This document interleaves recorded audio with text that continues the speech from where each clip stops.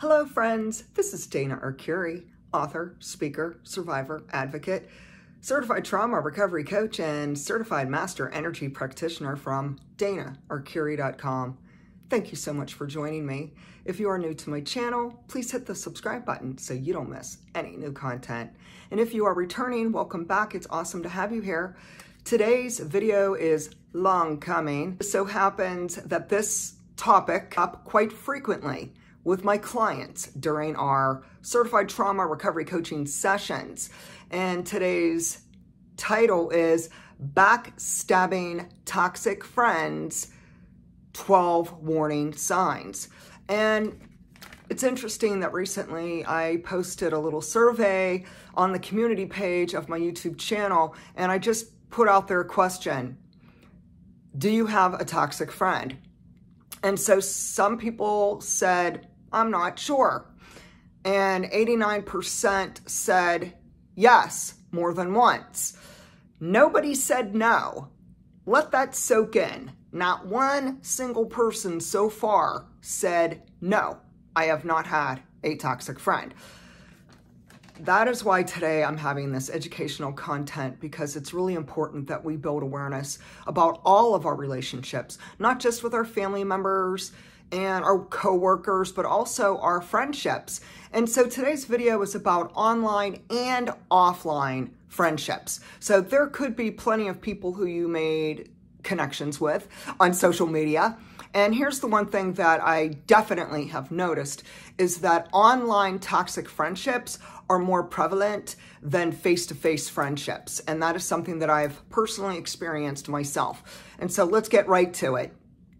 What are the 12 signs and these major red flags of a potentially toxic, backstabbing friendship? Number one, they are high maintenance. And so this person wants everything to be about them.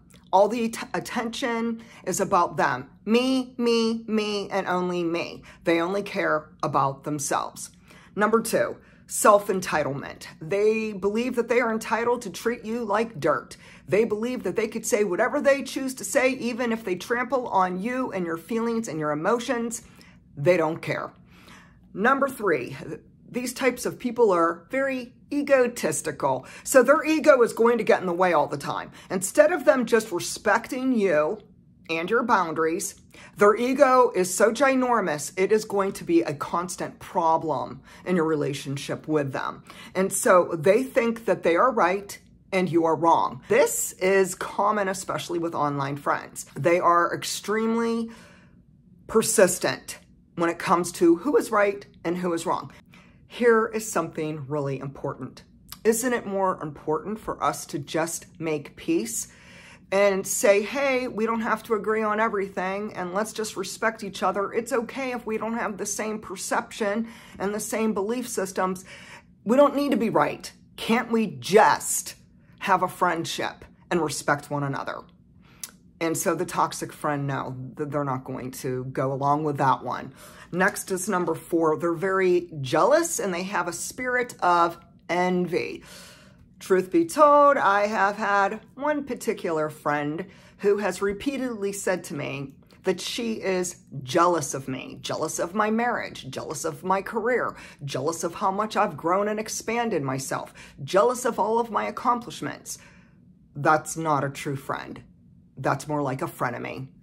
Next would be they gossip about you. Oh my goodness, this goes hand in hand with the toxic backstabbing friends. There might be really cruel words and terrible things that they say about you.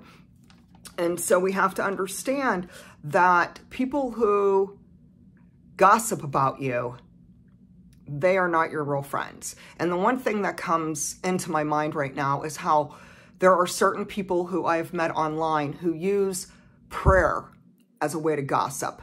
So they might email me, they might text me, they might chat with me on social media, or they might send me a private message on social media and they're gossiping about their friends. Here's something really important to keep in mind. If they're trash talking their friend and gossiping about them, this other person, good chance they're gossiping and trash talking you too. Let's go to number six. They cross your boundaries, and it's not just once, twice, or three times. Oh, it is repeatedly over and over and over again. Number seven, they are disrespectful to you, your privacy, your confidentiality. How many times have you spilled your guts and told your best friend or someone you really care about all of your problems or personal information? And before you know it, the whole world has heard because they told everyone. It is really hurtful when that happens because it's disrespectful and they crossed our boundaries and they basically have proven that they don't respect us. And that's a deal breaker for friendships. Number eight is they are untrustworthy. And so oftentimes it could come up into our body. We get these sensations with um, certain people that are untrustworthy. And what happens is something in our gut, it could be our sixth sense, it could be our intuition, the inner knowing, and it's basically saying, alert, alert, alert, this person is not trustworthy. And so the one thing we can really lean on is wisdom, discernment, and understanding that our intuition does not lie. So if someone reveals their true colors, believe them the first time. Number nine, they use God as a weapon to hurt you and harm you. They not only preach to you and think they are holier than thou. Oh, they're so holy. They're so righteous. And yet this is not how God would treat us. That's not what Jesus would do. And so they use either scriptures, God, the Bible, and all of this, I call it Christianese talk, and they literally hurt you with all of their words and all of their harsh judgments and condemnation. It's, again, extremely hurtful, but a red flag that this is a backstabbing toxic friend. Next would be number 10. They drain you emotionally and exhaust you physically. You feel like when you're either with them or in a communication with them, so whether this is going out with them, spending time, going out to the movies, dinner, shopping, or you're chatting on the phone, or you're back and forth. Maybe you text each other, maybe you email each other. A lot of different dynamics and relationships and different ways to have friendships online and offline. But the one thing that will come up is you feel physically and emotionally exhausted and drained and just beaten down when you are in, involved with this type of toxic friend. And so please understand that it is a red flag. If someone's draining your energy, mm, red alert, red alert, not a good match for you. Let's move on to number 11. So toxic, backstabbing friends are controlling. They want to control you, your other relationships, your job, what you choose to do with your life, how you dress, what you wear, what you say, things about your personal growth, about your own choices in life. And they will try to control you and then tell you that you made some really bad mistakes. And so that's another red flag to be aware of. You are a grown adult. You don't need someone, especially a friend, controlling you your life, your career, your relationships, and everything you say and do. Let's move on to number 12. So you've been on a healing journey, and this is something I've seen with a lot of my coaching clients. So we're, we're all on a healing journey, including me. And so we're trying to recover from trauma, and maybe there was a one narcissistic person in our life. You know, maybe it was your mother, your father, your siblings, an ex-spouse, a partner. Maybe it was your friend. But whatever the case may be, it could be a situation where because you've already experienced abuse, and it could have been narcissistic abuse, sibling abuse, it could have been sexual abuse, psychological abuse, child abuse, you now understand the red flags of toxic, unhealthy relationships. And therefore, you are doing the healing work. Now, the big thing that I've noticed is here we are, here we are, the brave souls doing the hard recovery work, showing up, dressing up, diving in deep to explore how we can heal from these traumatic experiences in our life. And yet, this friend of ours they're not doing any of the healing work. They are still kind of stuck way back, way back there.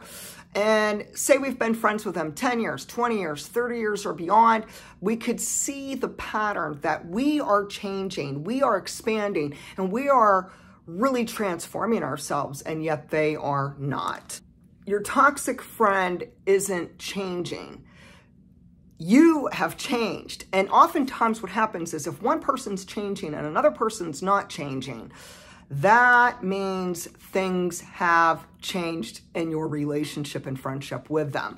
And so if you're doing the hard work of healing and they are not, and if they are backstabbing you and hurting you and manipulating you, it is a sign that you two are now no longer in alignment. They're no longer a good match for you as far as a friend.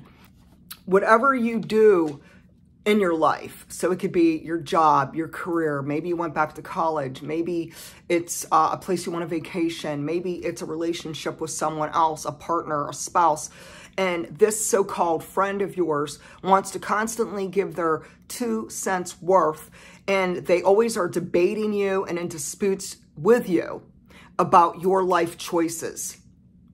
That's not a friend. That's a control freak. That's someone who's toxic and manipulative. Lastly, we're going to end on this note with this quote by an unknown author. And they said, a toxic friend will disrespect your boundaries, cause unnecessary drama, accuse you of horrible things, make snide remarks to you. They will judge you. They will play the victim card and they are jealous of your achievements and they will stab you in the back. My friends, this is psychological abuse. And so today, share with me, have you experienced any backstabbing, toxic friends? When did you realize that they were not healthy for you? What did they say or do to you? Let's keep the comments going down below. Like this video, subscribe to my channel, and if you'd like to reach out to me or have any type of coaching or services with me, you may do so at danaarcuri.com. Thank you and have a great day.